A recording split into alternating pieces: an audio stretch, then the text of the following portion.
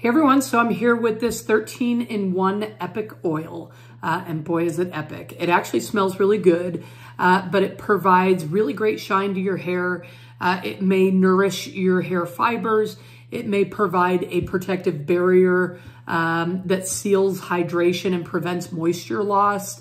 Um, it may protect from damage caused by aggressive hair treatments. Uh, it may uh, provide you with a silky smooth texture effect uh, on your hair cuticle.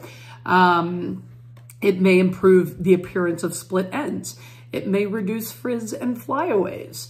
Uh, number eight, it may uh, provide elasticity. It, number nine, it may allow uh, for an easier detangling process, helping against breakage. number 10, it may give a weightless effect. Uh, number 11, it may, uh, you know, give you luster that enhances the effect of uh, color vibrancy. Uh, number 12, it helps uh, or it may help during the blow drying process and styling by improving manageability. And finally, number 13, it may help light non-greasy hair serum oil formula that doesn't weigh your hair down.